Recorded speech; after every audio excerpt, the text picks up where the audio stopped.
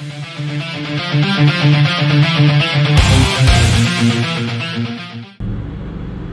back everyone sa ating channel. So today we will talk about motherboards. Ano ba yung dapat nating malaman about motherboards? Ito pong aking hawak ngayon ay medyo uh, pretty old one kasi meron pa tong PCI slots. Okay. So yung mga uh, new motherboards po na makikita nyo sa market natin ngayon or search sa ating uh, internet, makikita nyo po wala na pong PCI slots. Okay? May, um, lahat po naka PCI express na. Okay. So, ano ba yung dapat nating malaman dito? Okay, yung mga components niya, ano ba yung meron sa kanya? Ano yung uh, tamang way para ma-upgrade natin ng ayos itong ating uh, computer, ng ating uh, system unit. Kasi sa system unit, nandiyan po syempre motherboard, ang ating hard drive, okay, uh, iba pang mga peripheral. So sa motherboard, ano ba yung inilalagay natin dito? So, kaya pag nag-upgrade po tayo, kinakailangan alam natin yung tamang way. So, magre-rely po tayo sa motherboard. So, pero kung um, branded po yung ating computer, yung ating system unit, so doon po tayo magre-rely sa uh, brand and model ng system unit. Pero kung non-branded po siya, let's say, binild lang po yung PC, um, yung inyong client, yung inyong customer, bumili ng uh, casing, bumili ng motherboard, ng hard drive, ng RAM, and then um, binuo po. So doon po kayo magre-rely sa brand and model na motherboard. Okay? So doon po kasi sa specifications, so doon po kasi sa, Vincent pa ulit kasi may dumaan na ano. So doon po kasi sa specifications, okay, malalaman po natin ano po ba yung mga pwedeng um, processor para sa kanya, ano yung uh, maximum na pwede nating install na RAM or yung memory, okay? And ano yung mga pwede pa nating i-add on sa kanya. Alright. So, sa motherboard po, mapapansin nyo, okay, we have the um, processor slot or the CPU uh, socket or processor socket. Then the RAM slots or the DIMM slots, dual inline memory module slots. Okay? Meron tayong 24-pin power connector. And then also the 4-pin uh, power connector natin dito. The SATA slots. Okay? SATA slots. The PCI Express times 16 wherein dito po tayo pwede mag-install ng mga expansion cards like video card if you would like to upgrade your graphics, no? Yung video card po natin. And then we have the times 1, okay? So pwede tayo dito mag-install uh, ng expansion expansion cards like um, audio card or sound card, no? Yung ating pong uh, network interface card. So ito nga po, wala na po ito PCI. And then we have the CMOS battery. So sa CMOS battery po, uh, kailan po natin ito papalitan? kapag po napansin ninyo na every time na nag uh, nagbubot kayo ng inyong computer, makikita nyo yung uh, inyong system date and time ay hindi na tama.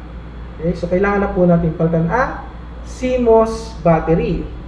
Then, we have the headers here para sa mga connector like front panel, the um, audio, the front audio, the front USB kung meron po.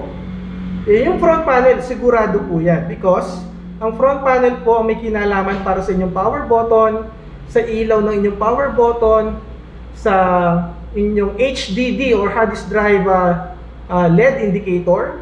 Okay? And then, ito naman po yung ating mga ports. So ito po mga ports na ito, ito po yung interface, no? Or yung pinaka-connection point para po sa inyong internal devices. So ano po ba itong mga devices na sinusupport ng mga ports na to? So gaya po na itong port, ports na to. The green and the purple one. Um, ito po ay para sa inyong PS2 keyboard and PS2 mouse. Kung yun po yung ginagamit nyo. This one, the VGA port is para sa inyong display wherein uh, dito nyo kinokonek ang inyong monitor or projector. Then we um, also have the DBI.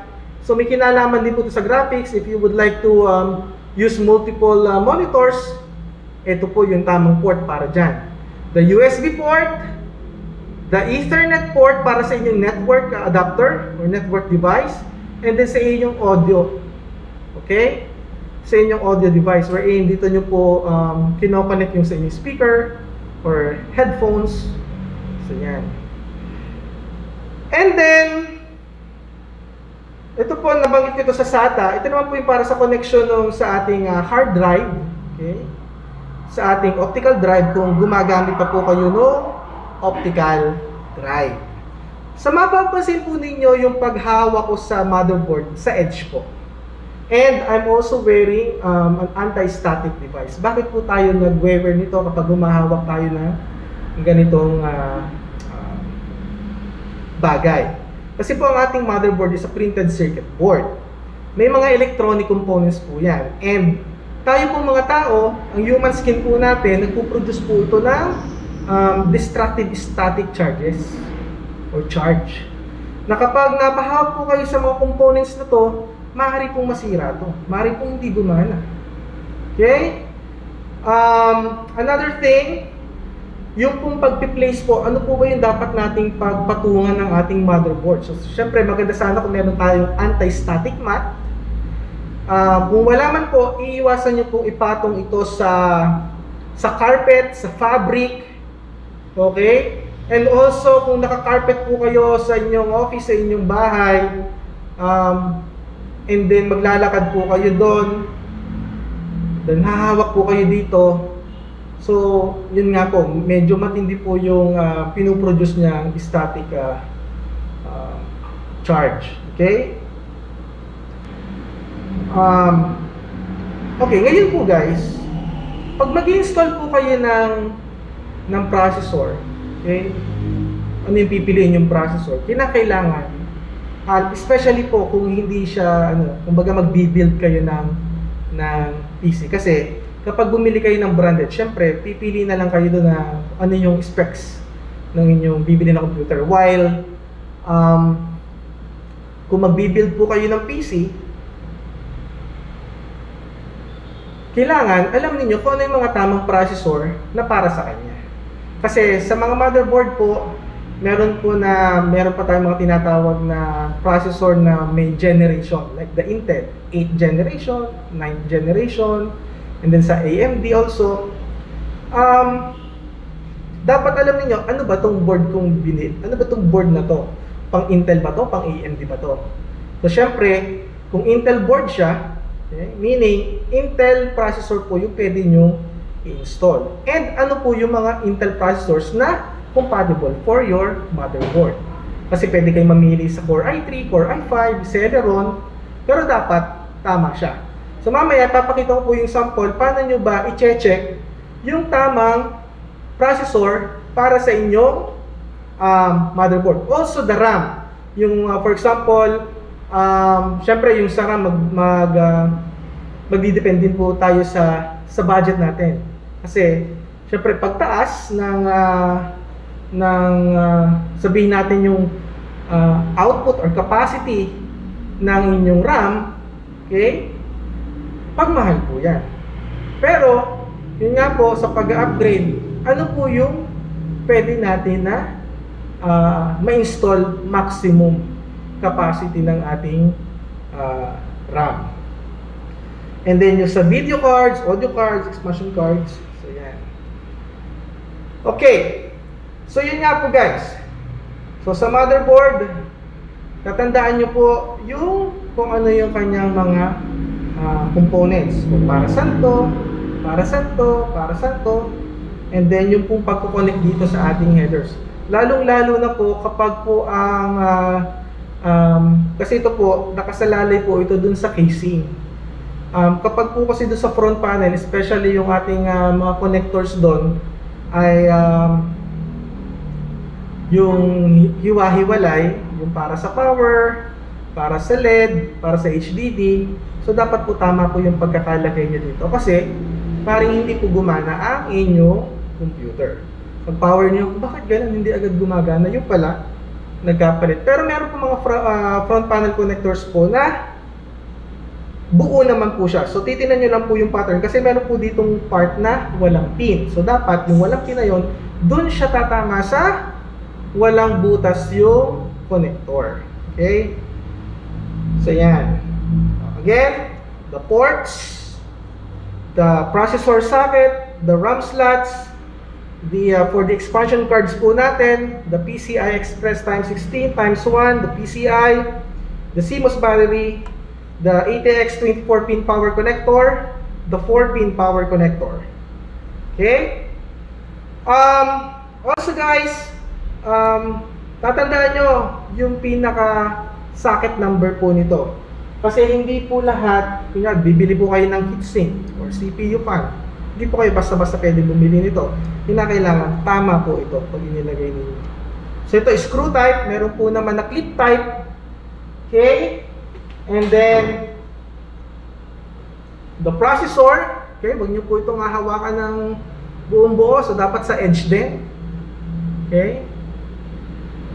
And then, the RAM. Okay? So, DDR3 po ito. Hindi pwede dito yung DDR4, DDR2. So, meron po yan kayo makikita dito, pinaka-notch niya. Okay? So, now, uh, magse-search po tayo ng uh, motherboard. And then, we will check the specification. Ano yung pwede nating install na, na processor for that motherboard. Yung uh, maximum na pwede nating install na RAM. Okay, okay guys. So, now, uh, magche-check tayo ng motherboard sa internet. Okay, na uh, magiging basis natin or example. Brand, ano yung model. So, dapat guys, familiar kayo sa mga brands para um, you can easily uh, see kung ano ba yung brand na yon. So, kasi doon tayo magre-rely eh, sa brand and model para madali tayo makapag-support sa motherboard sa system unit ng ating uh, customer. Okay? Um, we have Gigabyte, we have Asus, we have ASRock, okay? We have MSI boards, um, ECS boards. So, yan. Tingnan natin kung may uh, ECS motherboard pa. ECS motherboard. Okay, so tingnan natin dito. I think this one is a Taiwan uh, Taiwan product.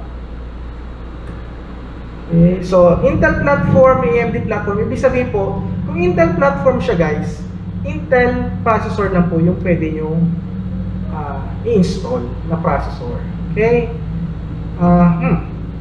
So tingnan natin itong, let's say ito, nakaselect na ako dito. So this one is ECS and the model number is H510H6-M2. So sa overview po niya, Windows 10 po siya. Uh, supports Windows 10. Okay? So meron po siyang ESD protection, prevents computers from electrostatic discharge damage to enhance its durability and lifespan. Okay? So tingnan natin yung gallery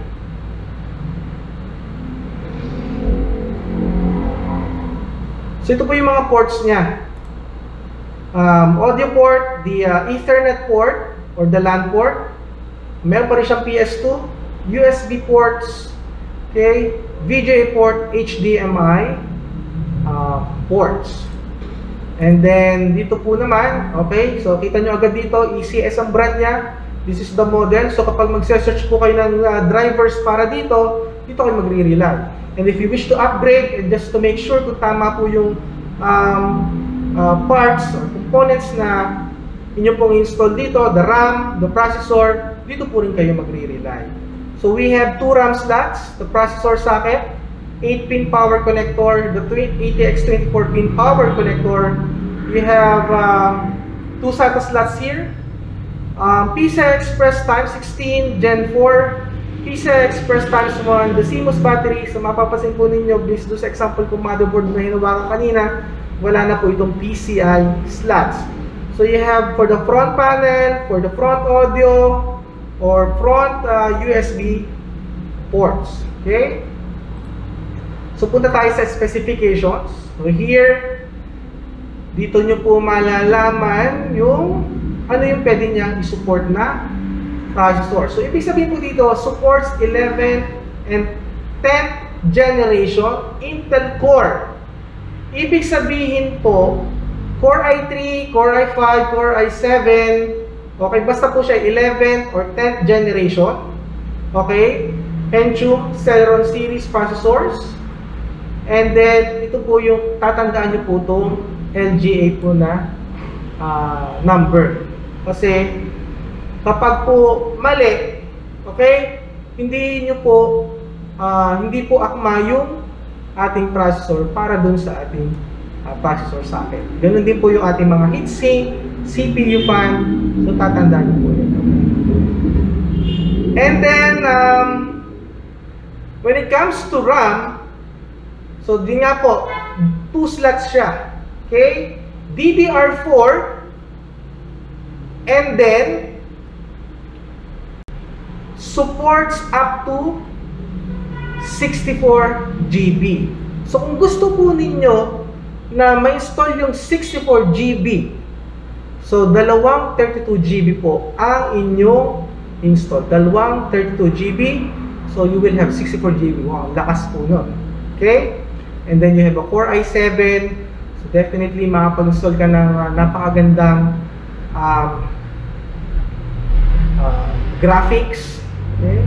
Pero syempre dapat kaya na uh, inyong PSU, Power Supply Unit. Okay? So 6 channel HD, si Realtek ang gumawa. Si Realtek din po yung gumawa ng kanyang uh, LAN port or yung network adapter niya. So meron po siyang um, apat na USB ports and then anim na USB 2.0 ports. Ito po yung mga ports na yun. Kanina pong image. So, ganun po guys yung pagtingin. Okay, so dito kayo magbe-base. Hindi po kasi pwedeng pag bumili ka ng motherboard, ah, bibili ako ng ganitong Intel Core. O bibili ako ng second hand kasi para makamura ako. Pero hindi pala supportan yung generation. Pero din po yung RAM. Okay? So dapat alam din natin kung anong klase na megahertz yung pwede nating install sa ating RAM. Okay? So yung po, then dito sa downloads, So dito naman po yung para sa driver. So for example, nag-install na tayo ng Windows 10, okay? Nag-install natin ng Windows 10, um, hindi nyo mai-connect sa internet kasi kahit mag-connect kayo ng kable, ayaw kasi wala palang driver. So ito po yung i-download nyo. You need to download and install. Then, pag-install nyo, connect nyo sa YouTube. Pero walang sound na lumalabas, so you need to install the, the sound. Okay? And then, um, the VGA para ma-achieve nyo yung best resolution. Now, kung meron kang um, video card, so syempre hindi ka na mag-rely sa brand and model ng motherboard. Kasi yun na pong brand and model ng inyong video card. Nvidia, Radeon, so yan po. Okay, so dapat talaga familiar kayo sa mga brands. Okay? So yun po na uh, alam na ninyo yung uh, components ng motherboard, okay? Yung dapat nating uh, isaalang-ala, okay? pag sa paghawak ng motherboard, um, paano mag-check ng specifications, okay? Uh, para alam ninyo kung ano yung tamang processor, anong tamang RAM ang mabili ninyo para sa inyong motherboard, and paano mag-download ng drivers. Okay? Uh, by means of the brand and model ng motherboard. Kasi po, kapag branded po yung computer ninyo, so doon na po kayo magre-rely sa mismong brand and model ng yung computer. Pero kung uh, siya po'y binild, okay, so hindi branded, so yung pong ating uh, brand and model na motherboard. Alright? So pwede nyo rin po i-download yung kanyang pinaka-manual para mas marami pa kayong malaman tungkol dun sa pagsiset up. Okay? So yun guys, um, see you on my next video.